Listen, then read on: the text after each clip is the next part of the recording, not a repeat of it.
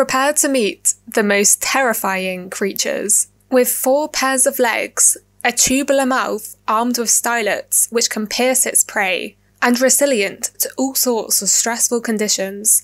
Bit of UV radiation? Not a problem. Bone chilling cold temperatures? Also not a problem. They can even survive the vacuum of space. There's only one slight problem. Tardigrades are microscopic. So hello and welcome to the Sheekey Science Show, or should I say, the Spooky Science Show, as because it is the beloved Halloween special.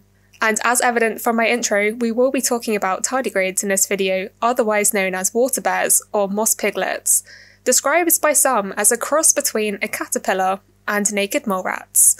Well, they're hardly names that will fill you with fear, and I actually think they look quite adorable, especially when they're drawn like this. So maybe this is the not so spooky science show today.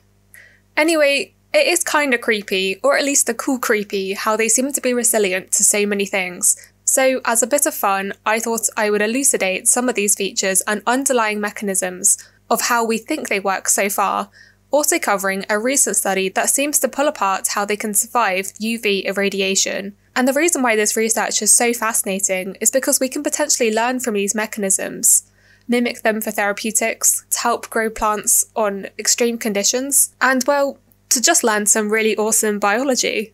So, to break this video down, I'll begin by just giving a generic what are tardigrades overview, and then we'll look at what makes them special, covering a variety of different features that have been noticed so far, and then going into a bit more detail regarding this recent research and their tolerance to ultraviolet radiation. And then lastly, we'll address why should we actually care about the tardigrades? So first then, what are tardigrades? Well, they're invertebrates belonging to the phylum Tardigrada, and currently it's estimated that there are around 1,300 different tardigrade species. As you can see here, they're closely related to arthropods, which include all the crustaceans and insects, and also nematodes. And the tardigrada phylum itself can be split up into two different classes, Eutardigrada and Heterotardigrada. Eutardigrada consists mainly of freshwater and terrestrial species, whilst Heterotardigrada include more marine and terrestrial species. And the tardigrades can be found all over Earth, from the deepest oceans to the tops of the highest mountains. And although tardigrades are microscopic, they're surprisingly complex. They have a digestive and nervous system, albeit not as quite complex as ours, and they also have sensory organs, including eyes. But if our digestive and nervous systems are more complex than the tardigrades, what actually makes the tardigrades so special? Well, all tardigrades need a thin water film around their bodies in order to stay active. And whilst that might be fine for those in marine or freshwater environments, those in terrestrial environments are threatened by drying. However, tardigrades have a special skill tardigrades can enter into a state known as the cryptobiotic state, and there are several different types of this cryptobiosis. This includes anoxybiosis, which is a lack of oxygen, where tardigrades are known to swell and become rigid, cryobiosis, which is really low temperatures, and osmobiosis, which is changes in pressure, and also anhydrobiosis, which is due to a lack of water. And so during these extreme conditions, cryptobiosis is induced. So cryptobiosis can be thought of as a metabolic state entered by an organism in response to adverse environmental conditions that prevents reproduction, development, and repair, but enables the organism to survive so that when the environmental conditions return to normal, the organisms can return back to its metabolic state of life as it was before cryptobiosis. So, anhydrobiosis gives the tardigrades resistance to lack of water. And in addition, it also helps the tardigrades deal with high temperatures, radiation, or different kinds of chemicals such as ethanol and carbon dioxide.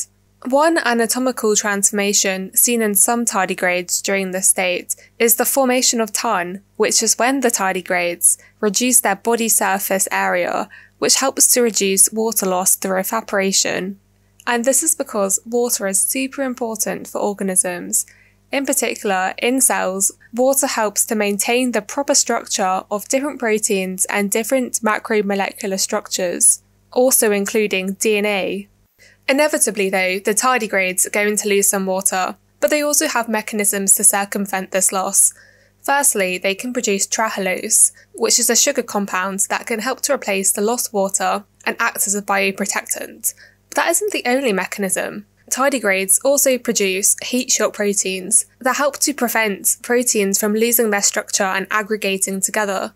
In addition, tardigrades have their own unique genes that include the production of soluble proteins that similarly are thought to form molecular shields in water deficient conditions. And interestingly, a more recent discovery of a tardigrade unique protein is that referred to as Dsup, standing for damage suppressor, and it is so named because it is thought that this protein can bind to DNA and prevent it from damage. And this protein was first discovered in the tardigrade species, are you ready for it? Ramazzottius varieornatus, apparently one of the most stress tolerant tardigrade species. And what they found in this study was that Dsup could suppress X ray induced DNA damage by around 40%, and it also suppressed damage induced by reactive oxygen species. And the coolest thing is that they also put Dsup and they expressed it in human cells. And even in the human cells, Dsup was also shown to have protective benefits for the DNA. And it was in this follow up paper where they further characterized Dsup, where they saw that it actually binds to chromatin, and they state as well in this article that with this insight, Dsup could be used to expand the range of applications of cells in biotechnology, and it could also increase the effectiveness of current methods, such as the production of some pharmaceuticals that depends upon the use of cultured cells. So it's pretty cool that a protein from tardigrades can have relevance in other areas of research. And just while we're still on the topic of Dsup, it's interesting to think about why tardigrades would need this protein. And so one argument would be that this protein is made, as I just mentioned, to protect DNA. But the interesting thing about tardigrades is that they're somatic cells, so their normal non-sex cells are eutelic. So what that means is that after hatching, those somatic cells don't divide. So maybe the integrity of their DNA isn't as important. However, in my opinion, DNA is always important. If you're going to be transcribing genes throughout a lifetime, then it's integral to also maintain the structure of DNA, irrespective of whether or not that cell's actually dividing. And this brings us on to the more recent publication that was found in a species of tardigrades in the Eutardigrada class that found that naturally occurring fluorescence of this tardigrade, Paramacrobiotus, protects the tardigrade from ultraviolet radiation. And so this slightly takes us into the realm of physics and the energy of different waves, with ultraviolet light having very high energy.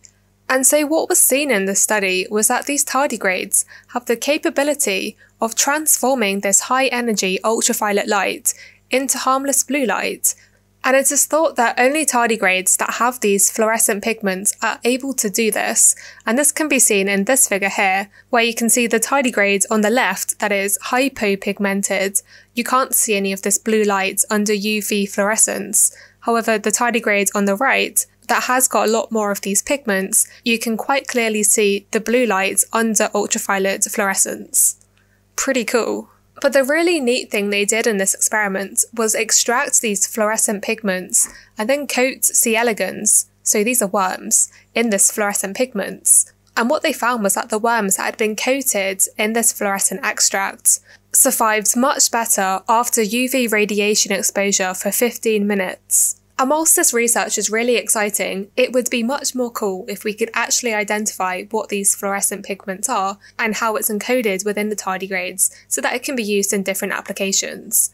And this is kind of a reoccurring theme with a lot of the adaptations of tardigrades to extreme conditions. We can see what they're doing to circumvent stress in these different conditions, but we're not so sure about how they are able to do this and the biochemical underpinnings.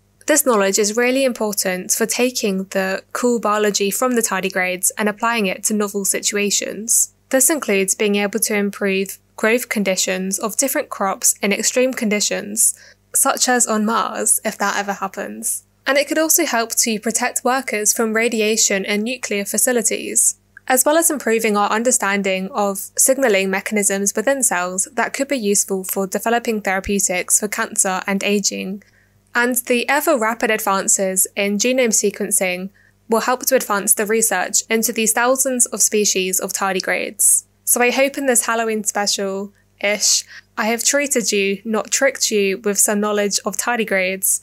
And as always, thanks for listening.